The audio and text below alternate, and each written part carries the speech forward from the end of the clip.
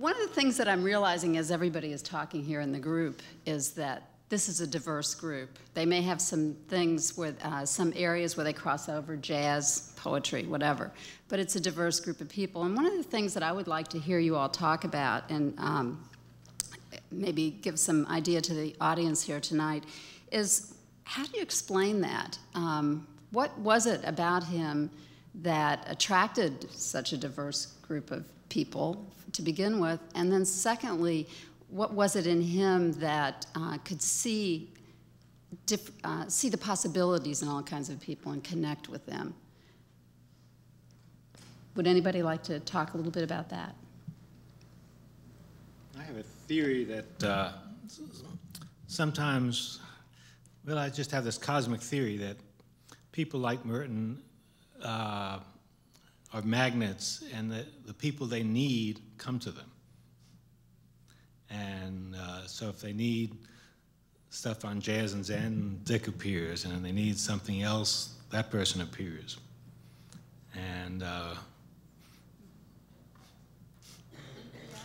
um, Jack? I guess that, that uh, one of the things I'm convinced of in terms of Merton's interest today, and I'm going to make a, a terrifying confession. I was sitting at my desk in Baltimore when I heard of his death, and I wondered, it was in 1968, of course, and I wondered, uh, will anybody remember him in 30 years? And now, of course, the question is, will anybody not remember him in 300 years?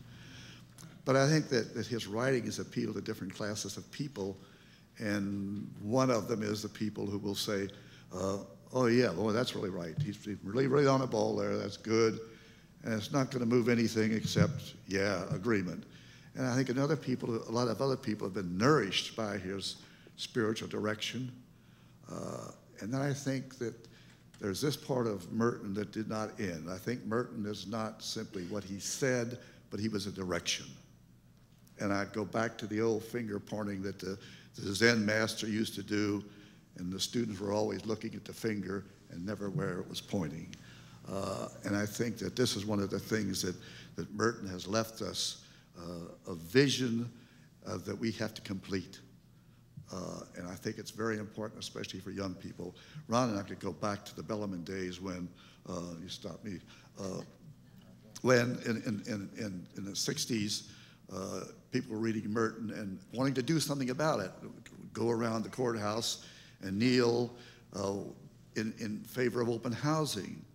Uh, and, and I think that unless Merton is going to live, then we're going to have to take up his ideas and see that, especially for me at least, in the conjectures of a guilty bystander, he's putting a burden on us not to simply say, gee, isn't all this stuff he said great, but he's also saying, what are you going to do about it?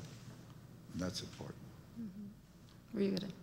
Yes, uh, and he was always open and very receptive to someone, uh, but he kept reiterating to me again. People talk about poets as if they're special. People sit on on thrones or something, and and I include poets, all creative people. Uh, it is your response to life, your receptivity, a Eucharistic one, with joy, without fear, and Jack just alluded to the civil rights movement. I was involved with that open housing thing with Dick Gregory and John Howard Griffin, Martin Luther King and Selma, and all of that.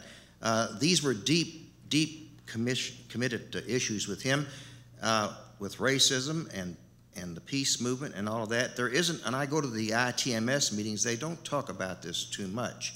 I look in the audience and I very seldom see a minority.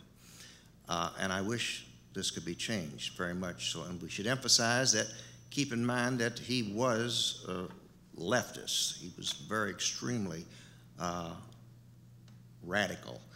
And I, I, will say about this, I was coming back to what he was saying. One thing he attracted was I was with the beat movement of Kerouac and Ferlinghetti and Carcel. He liked, they, these were crazies. I mean, real, all, you know, loonies. But uh, they were alive, he said, and Joan Baez was out there. So what Jack is saying there in the 60s, that was a, we were adolescents, and I think probably irresponsible, but it was a damned exciting time to be alive, and he was in the middle of it. Dick. It's it's dangerous to take anyone like Thomas Merton too seriously, and that uh, he had a problem with that, uh, taking himself too seriously, which then he would feel badly about. And He was constantly going back and forth between wanting to be famous and wanting no one to know him, which is, of course, the problem with fame, because he was seeking spirituality on a very deep level. But to uh, make him something special, I think would be against what Merton really was, and uh, he would want to make you feel more special. That was Sister Mary, uh, Jane Marie was saying about when you were with him. Uh, he was present to you. That's a sign of spirituality, or at least uh, being in the moment. Uh, his whole idea of no self, and Ron talking about the Eastern thing, something that he deeply believed in, but he was caught up. He was in a quandary. He was a Western person. He was European as well. We shouldn't remember that he was this kind of erudite, uh, sophisticated. If you've read, you know, his biography, where he came from, and then he was stuck in Kentucky in a monastery. Uh, all of this played into um, who Merton, quote, was. And I don't think he, like the rest of us, uh, we don't really know who we are if we try to figure out in, that in terms of personality. Uh, it's the knowing beyond that that he was interested in. And that's, that's the thing that uh, transcends all of us, including Thomas Merton. I think he would be happy if we could do that. And whether or not we remember him in his deepest self, I think he really doesn't care. At least I would hope so. I think in a way he would have been embarrassed by the Merton phenomenon.